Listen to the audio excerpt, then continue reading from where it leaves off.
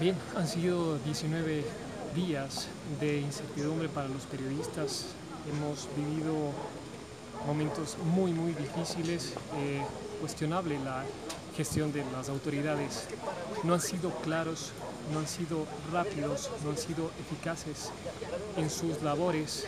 Eso es lo que nosotros los periodistas hemos visto ya profundamente su labor. Solo pedimos que sean claros, que desde ahora en adelante sean claros y sean precisos, porque aparentemente fueron tres y pueden seguir habiendo más vidas, más periodistas en riesgo. Pedimos claridad a las autoridades.